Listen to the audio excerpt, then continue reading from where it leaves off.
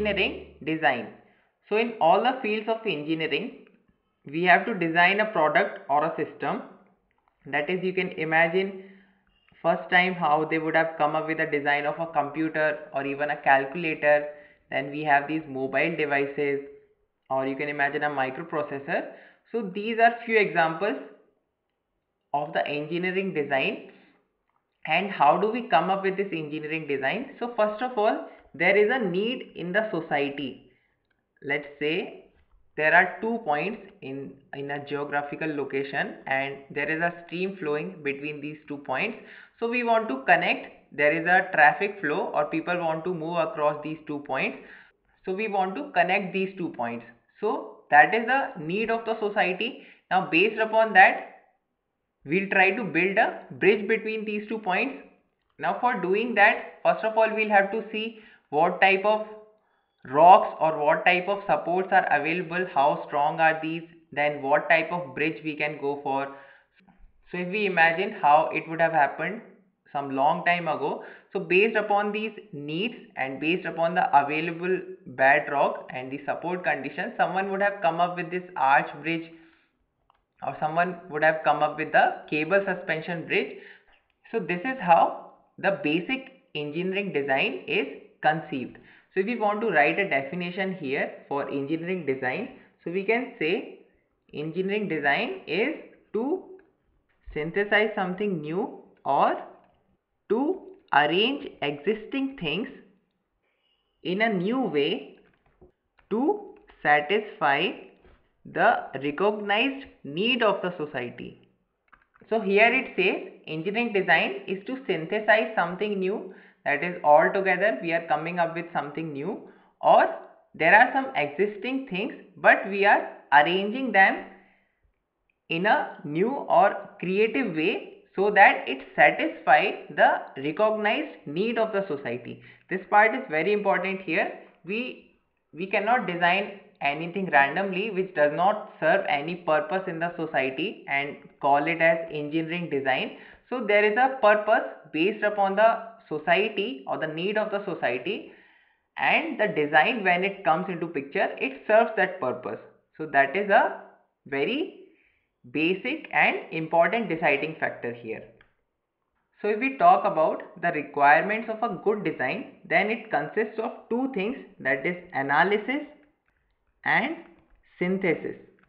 So first of all we have to do the analysis that is if we talk about this particular bridge then we'll have to see how these different parts of the bridge how these piers or how if cables are there or this deck is there what are the forces what are the stresses in these different parts that will consist of the analysis part of this bridge then the synthesis part. In the synthesis part we have to understand how these parts should be interconnected so that we get the desired design or the purpose for which we are doing this is served.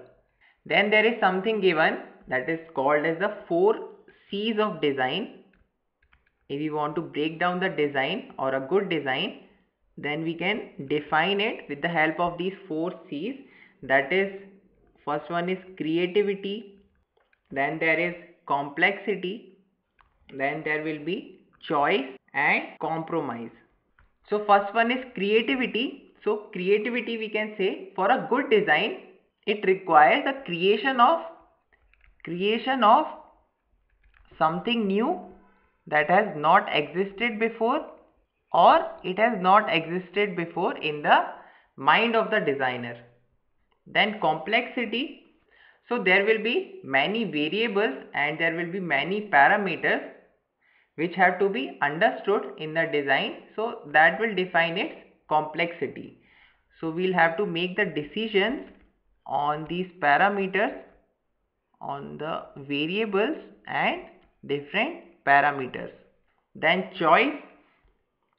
So in case of a design, as I said, it starts with a problem in the society. Now to solve this problem, it is not necessary that there can be only single design. There will be many alternatives.